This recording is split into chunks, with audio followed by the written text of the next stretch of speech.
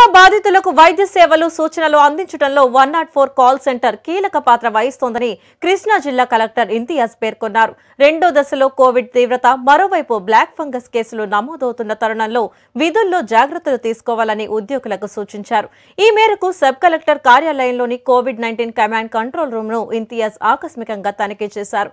ఈ సందర్భంగా కలెక్టర్ మాట్లాడుతూ వన్ నాట్ ఫోర్ కాల్ సెంటర్కు ఫోన్ చేసిన వారి పరిస్థితులను ఎప్పటికప్పుడు తెలుసుకుంటున్నామని తెలిపారు. ప్రతి ఫోన్ కాల్కు టోకెన్ రైజ్ చేసి పర్యవేక్షిస్తున్నట్లు తెలిపారు. కమాండ్ కంట్రోల్ రూమ్లో మొత్తం డెబ్బై ఐదు మంది అధికారులు సిబ్బంది ఉండగా వీరంతా మూడు షిఫ్టుల్లో పనిచేస్తున్నారని కలెక్టర్ వెల్లడించారు. ఈ నెలలో మనకు మే నెలలో ఈరోజు వరకు మనకు ఇరవై వేల కేసులు పైగా మనకు కోవిడ్ కేసులు నమోదయ్యాయి.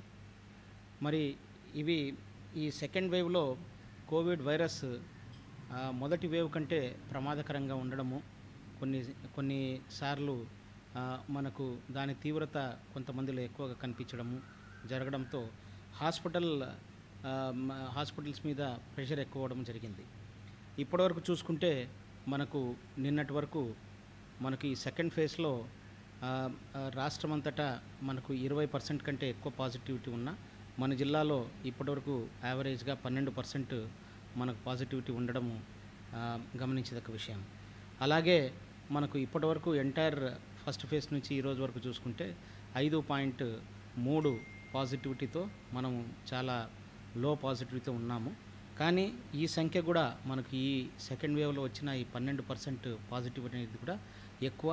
మనమందరం కలిసి ఈ పాజిటివిటీని తగ్గించేందుకు అందరం కూడా కలిసి కట్టుగా కంటైన్మెంట్ మెజర్స్ తీసుకోవాల్సిన అవసరం ఉంది.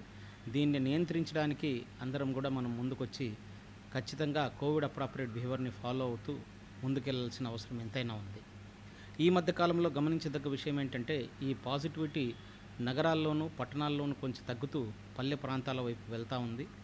దీనికి అందరు కూడా గ్రామీణ ప్రాంతాల్లో కూడా మనకు అందరు కూడా ఈ కోవిడ్ నియంత్రణకు తగు చర్యలు తీసుకోవడానికి అక్కడ గ్రామీణ అధికారులను అక్కడ మండల అధికారులను అందరిని కూడా అప్రమత్తం చేయడం జరిగింది. జిల్లాలో హబ్గా విజయవాడలో మనకు సుమారు అరవై హాస్పిటల్స్కు పైగా మనకు కోవిడ్ మనకు చికిత్స చేపట్టడం జరిగింది.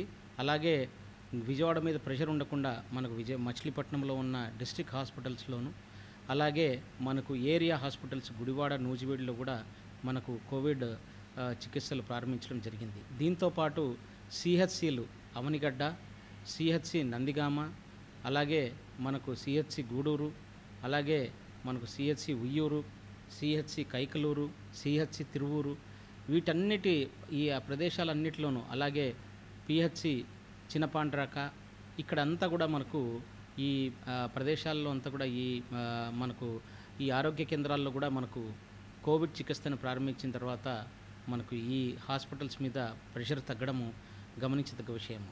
సో గ్రామీణ ప్రాంతాల వారికి కూడా దగ్గరలోనే మనకు హాస్పిటల్